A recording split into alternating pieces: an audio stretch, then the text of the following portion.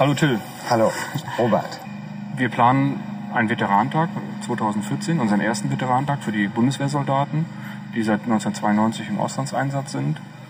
Und ähm, wie stehst du zu einem Veteranentag? Brauchen wir einen?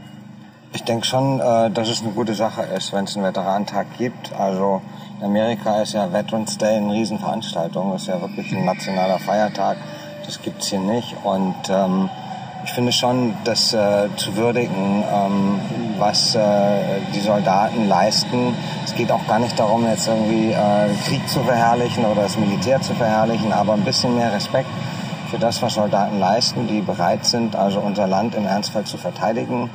Äh, es geht auch nicht darum, jetzt den Einsatz in Afghanistan zu verherrlichen, wie man mir schon mal vorgeworfen hat. Ähm, die meisten Soldaten, die ich getroffen habe da unten, wollen auch lieber zu Hause sein und nicht in Afghanistan. Aber ähm, sie sind eben bereit, für ihr Land im Ernstfall alles zu geben. Und ich finde, das wird in Deutschland zu wenig gewürdigt. Und in Deutschland ist zu sehr von vielen Menschen so die Haltung, äh, bist Soldat geworden, bist doch selber dran schuld. Ne? Und das finde ich sehr ignorant und sehr schade. Und insofern also begrüße ich das, wenn es einen Veteranentag gibt.